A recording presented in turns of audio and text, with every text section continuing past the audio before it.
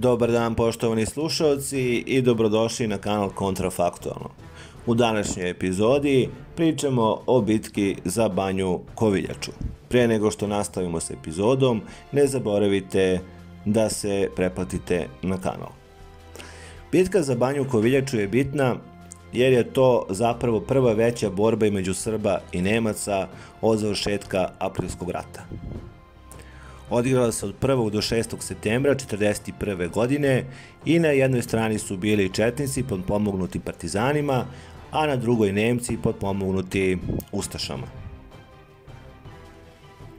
Napad na Nemce u Banji Koviljači je bila prva veća borba. Jadarski četnički odred je izvršio napad na Nemce, kojima je 3. septembra 1941. godine stiglo pojačanje. Nemci su zajedno sa Hrvatima iz Bosne vršili demonstrativne napade prema Loznici. Međutim, Četnicima je takođe pristiglo pojačanje Cerskog četničkog odreda koji su vršili demonstrativne napade prema Šapcu sa ciljem kako bi osujetili pokret Nemaca prema njihovom ugroženom bataljonu u Banje Koviljači. Tokom ovih borbi Nemci su prvi put upotrebili avijaciju protiv srpskih uh, ustanika u Srbiji. Nemci su se 6. septembra 1941. godine povukli iz Banje Koviljače. Tokom ovih borbi, Četnici su isto vreme branili prilaz prema Loznici iz pravca Valjeva, tako da je došlo do čuvene bitke na Zavlaci. Istovremeno, Četnici su napali Nemci u Krupnju i posle trodivnih borbi oslobodili i ovo mesto.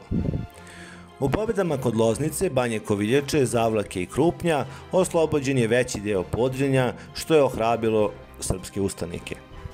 Četnici su se narednom periodu povezali sa svojim snagama u Šumadiji, čime su bile završene pripreme za četnički napad na Valjevo i nastup jačih četničkih snaga u dolinu Zapadne Morave, to jest na liniji Čačak-Kraljevo-Kruševac.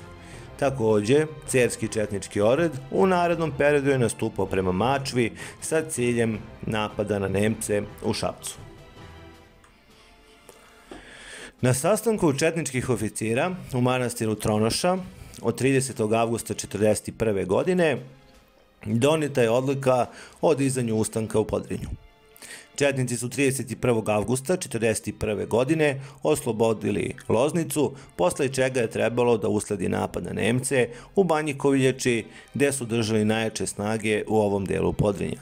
Što se tiče bitke za Loznicu, tome možete više saznati u jednoj od naših prethodnih epizoda. Jadarski četnički odred je prema unapred utvrđenom planu napao Nemce u Banji Koviljači 1. septembra 1941. godine.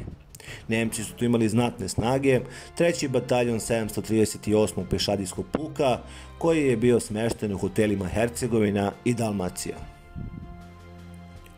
Nemci su od ova dva hotela napravili jaka odbrambena utvrđenja, oko kojih su postavili boljikavu žicu i mitraljarska gnezda. Napad na Nemce u Banji Koviljači preduzuje Jadarski četnički odred, a za komandanta ove operacije postavljen je potpukovnik Nikola Radovanović, jer je prehodni komandant Veselin Misita stradao u bici za, za Loznicu. Prvi juriše Nemce su izvele jedinice pod komandom kapetana Bogdana Drljače i rezervnog poručnika Georgija Bojića. Međutim, Nemci su pružili žestok otpor i uspešno odbijali svaki četnički napad. Njihov cilj je bio da se održe sve dok im ne stigne pojačanje najbližih garnizona iz Endehazije i iz Valjeva, te su Nemci takođe držali jake snage. Nemci su dobili 3. septembra i podršku artiljerije sa bosanske strane, to jest iz tada okupirane teritorije od strane Endehazije.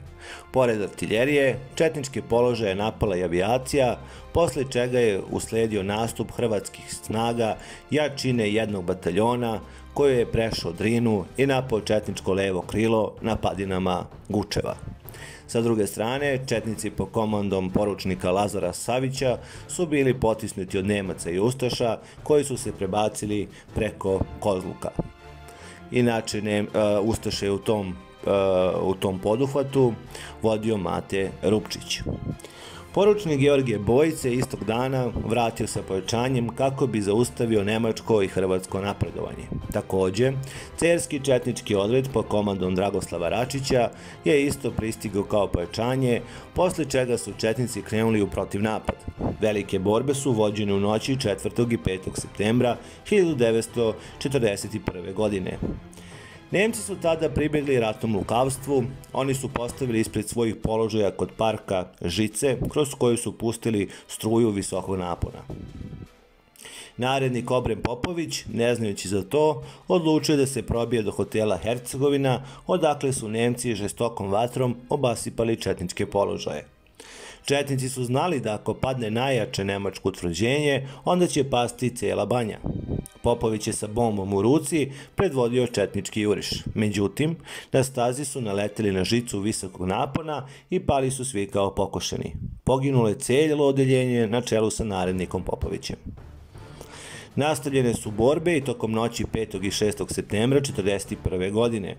Četnici su tada preduzeli odlučujući uriš, uspeli su da se probiju do hotela Hercegovina preskačući žice pod naponom i kroz prozore ubacivši bombe. Nastala je panika i povlačenje Nemaca, u isto vreme povukli su se i Hrvati. Četnici su 6. septembra proslavili rođendan kralja Petra u oslobođenoj banji Koviljači. Nadam se da vam se epizoda dopala, ne zaboravite da se preplatite na kanal i vidimo se uskoro. Prijetno!